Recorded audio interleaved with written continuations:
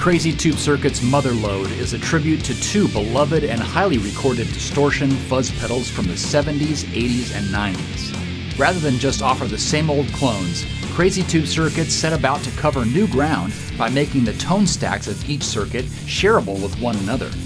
Up top is the Rat inspired mode, known for its hard clipping and pushed mid range, while its reverse taper filter knob handles high end roll off for smoothing out the tone. The Muff inspired circuit has a naturally scooped sound and famous sustain that goes on for miles. The conventional tone stack on this circuit blends between fixed high and low pass filters. However, the Motherload offers many more variations of Muff thanks to a voice knob, which inserts a variable high pass filter that can enhance mid range or help dial in super scoop sounds.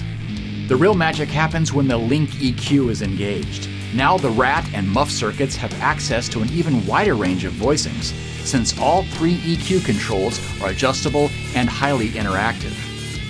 Like all Crazy Tube circuits, the Motherload is made in Greece with great attention to detail and includes soft click relay based true bypass switching. For more information, check out crazytubecircuits.com. Let's start by checking out the RAT circuit in its stock form, and I'll show you how the tone really changes when you back off on the gain. It gets a lot brighter and open, and when you increase the gain, it gets a little bit more compressed and darker. So here's where that filter knob comes into play. And remember, it's a reverse taper.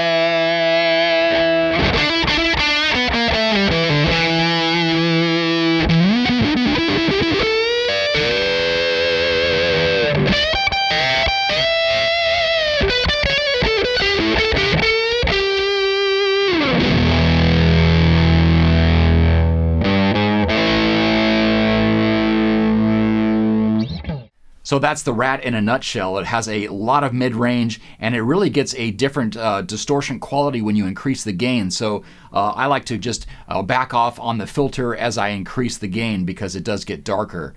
Now let's go over to the muff circuit again with uh, without linking the EQs just yet. Plus let's check out that extra voice control to change the mid range and really go through a lot of different muff variations.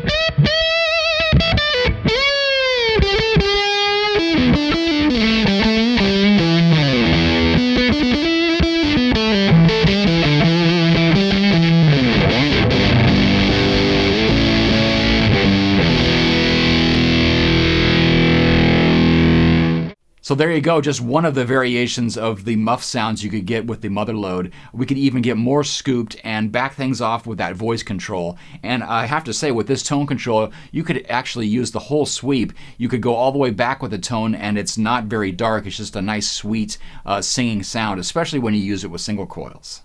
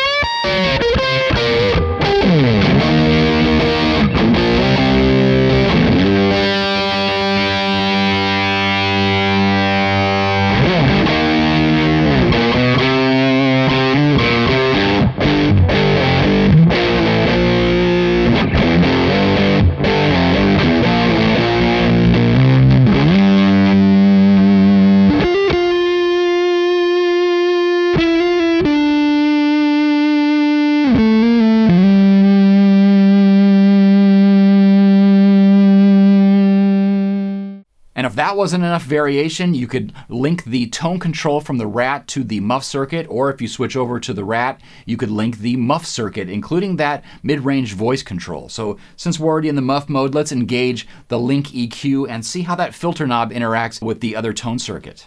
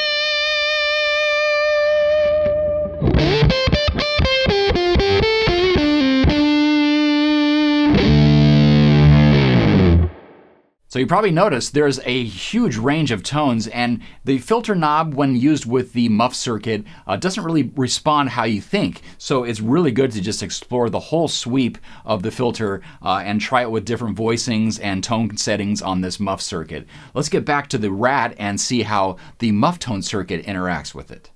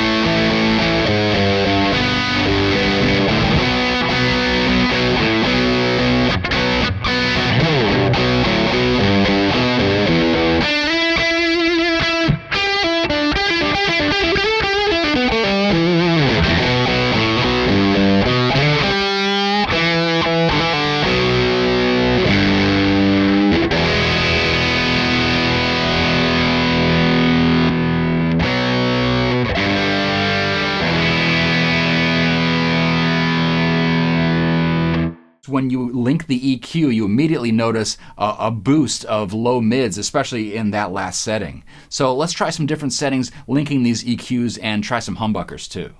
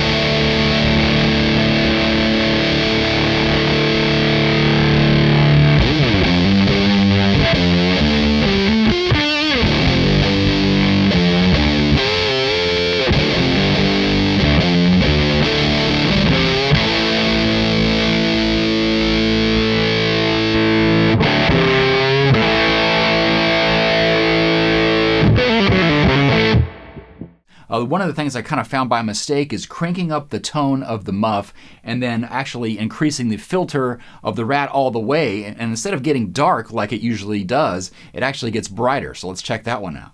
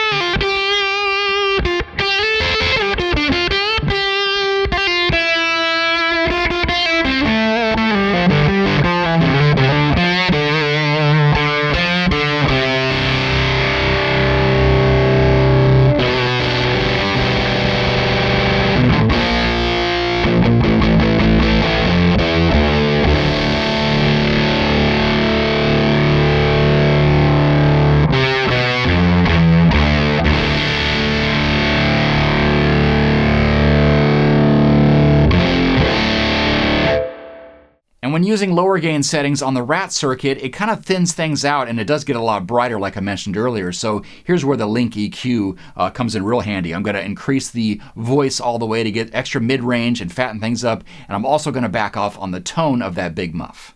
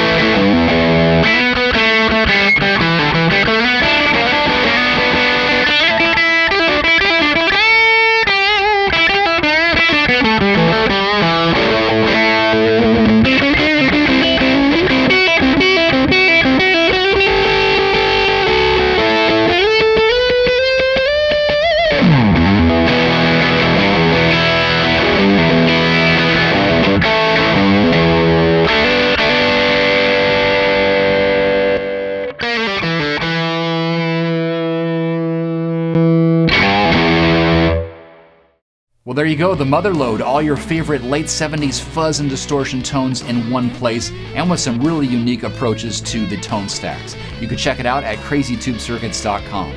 Thanks for watching, and I'll see you for the next Andy demo.